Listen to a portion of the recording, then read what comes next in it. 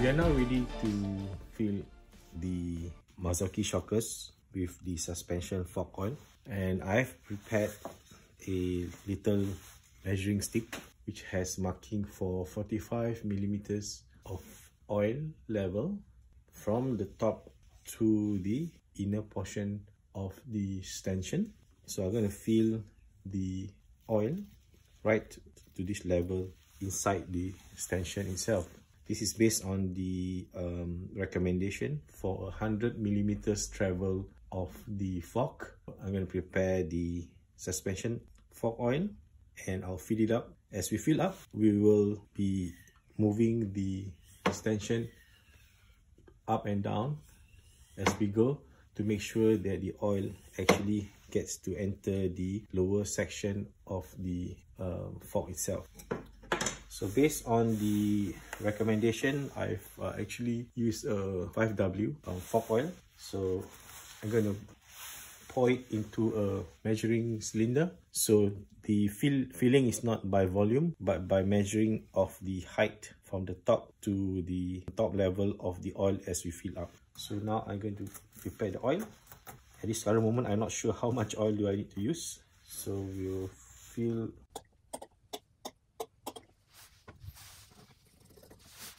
I'll now slowly fill up the stanchion with the fork oil.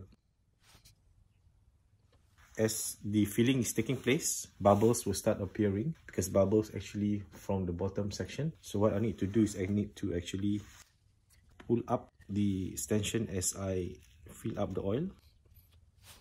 And you can actually hear air bubbles coming out. So that's the oil inside. So I'll now compress back again. You can actually hear the popping sound of the air. One more time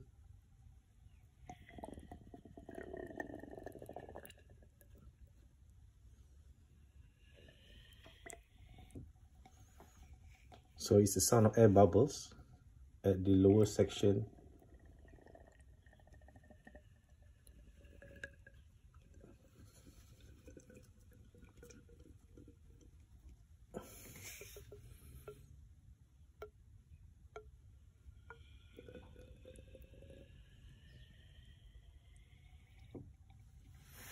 Okay. You can actually see the vapor going onto the camera lens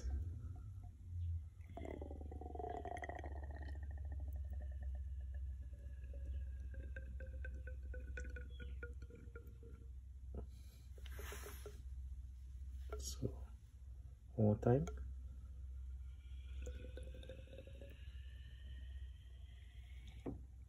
okay. So I'm going to continue filling up the oil until it's about 45 um, millimeters of oil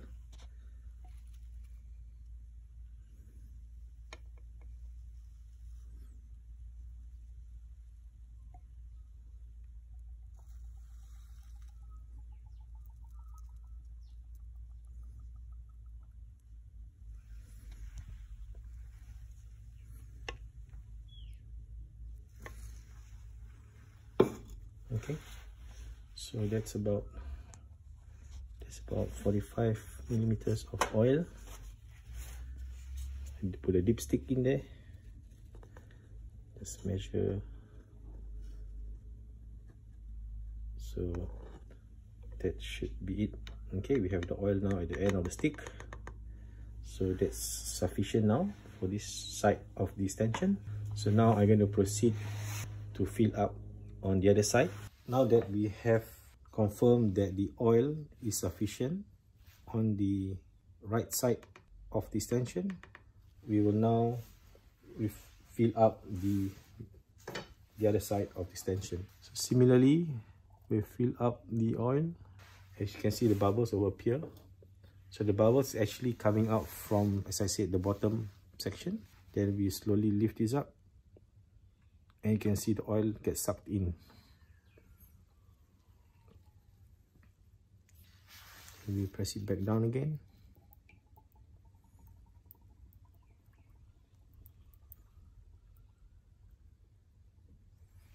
And we check the level. So now the level oil level is slightly below where you like it to be. So I'm going to check it again so we just need to fill up just a little bit.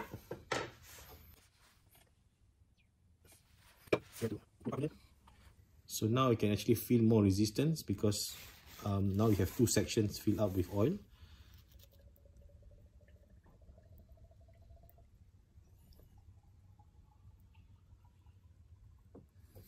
And one more time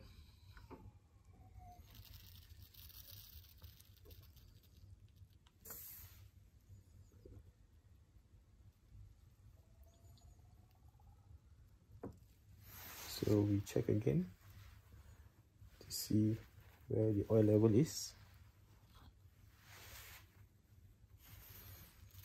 Looks like it needs more oil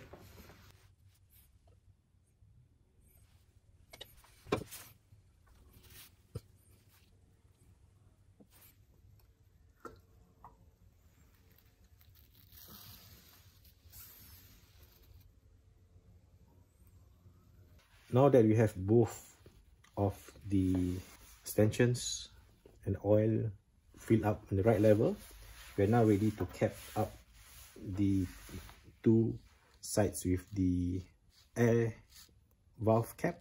Firstly we will lightly grease the o-ring as shown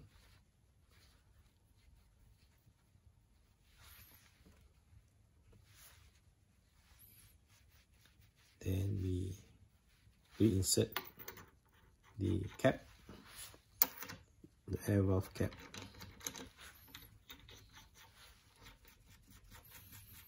You can tighten by hand all the way in. Then after that we will use a um, 21 mm socket to tighten up the top section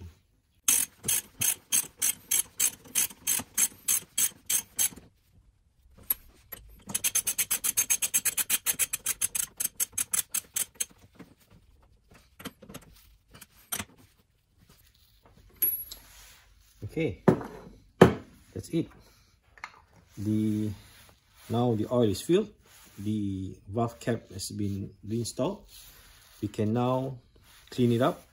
Then we will pressurize the two stanchions with the pressure pump. Now that we have already secured the valve cap both side left and right we can now use a one of these uh, high pressure bicycle shock pump. So we will pressurize this up.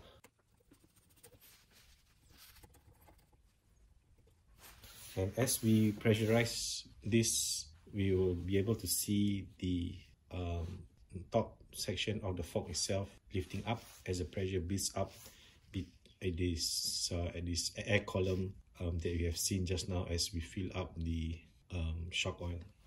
So I'm going to um, pump it up as you can see I'm gonna do a 50-50 50 psi 50 psi both side for start. Can you see the tension is not rising?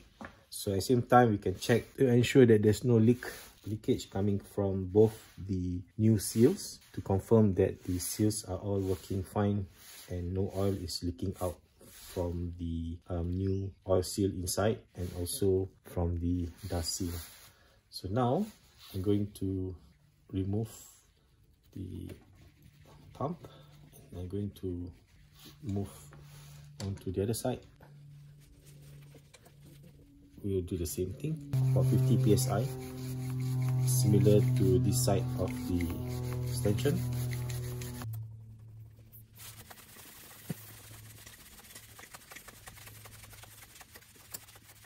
okay so at this current moment you can see both sides are actually expanding. And what I'm going to do I'm just going to release the air pressure by pressing this button. You can see this extension actually drops. So I'm going to repressurize again. And you'll see this tension rising.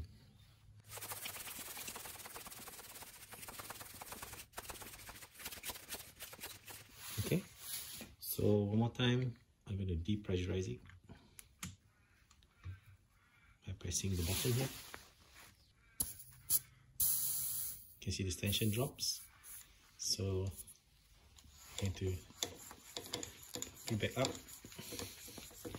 to 50 psi after that we can mount back this fork onto the bicycle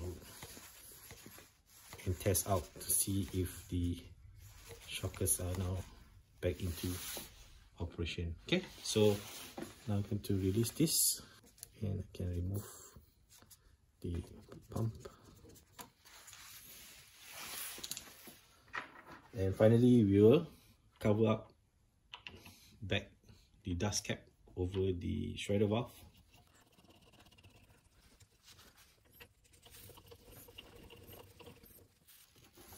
And that's it, done. We have finally completed the um, rebuild of the Marzocchi MXC 2002 um, fixing the problem of the leaking oil seal on the on this side of the fork. So now both looks okay no leak and the pressures are back in actually see press in and yes. All seems good. We will now take this put it back into the bicycle and see if it works fine okay Finally, I've got the chance to reinstall the Marzocchi Bomber 2002 MXC Air front suspension fork back onto my bicycle and I really can't wait to test it out on my local bike trails and um, now it's winter, it's a bit cold so maybe this weekend if the weather gets better I'll probably have to go and to check to make sure the oil seals are working and also the dust seals and also the new suspension oil is good and the bike is working properly. So I hope you have learned something from this little how-to video and picked up a thing or two and some knowledge for your own suspension uh, servicing. If you like to receive notifications and updates on new release of video from Uncle Sully's project, please do like and share and subscribe to Uncle Sully's project so that you'll be updated when we release our new, new videos or new content. Okay, and thank you uh, for your time and thank you for watching the video to the end and I'll see you soon in the next video. Okay, take care and bye-bye.